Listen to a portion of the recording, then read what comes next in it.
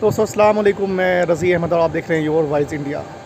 आखिर क्यों राखी सावंत जो है एम के पूर्व एमएलए, पूर्व विधायक वारिस पठान से मिली?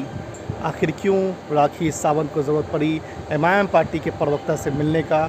ये सारे सवाल का जवाब आज इस वीडियो में हम आपको देने वाले हैं। दोस्तों, आपको बता दें कि लगातार जो है वो चर्चा में रहने वाली राखी सावंत जो है वो वारिस पठान एम के प्रवक्ता और पूर्व विधायक से मुलाकात करती है।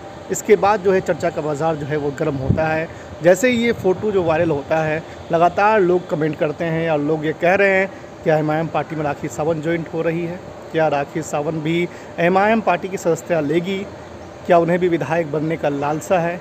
लेकिन आपको बता दें दोस्तों कि सच्चाई ये नहीं है। दरअसल सच्चाई ये है कि राखी सावंत जो है, वो मुलाकात वारिस पठान से इसलिए की, क्योंकि वो राखी सावंत जो है, वो उमड़ा पे जा रही है।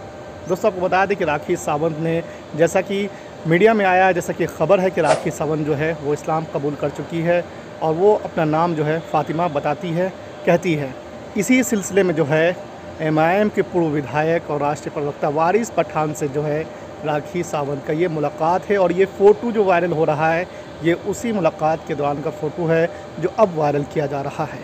दोस्तों, आपको बता दें कि अल्लाह पाक जब चाहे जिसे हिदायत दे और जब चाहे जिसे हिदायत ना दे, सारा चीज़ उनके हाथ में है।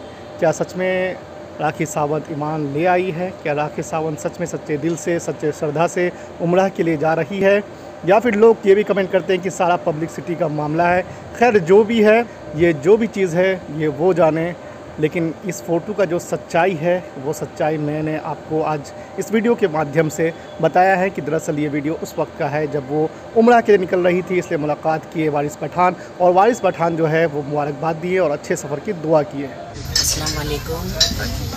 मैं बहुत खुश नसीब हूँ कि पहली बार मैं आज उम्र जा रही हूँ।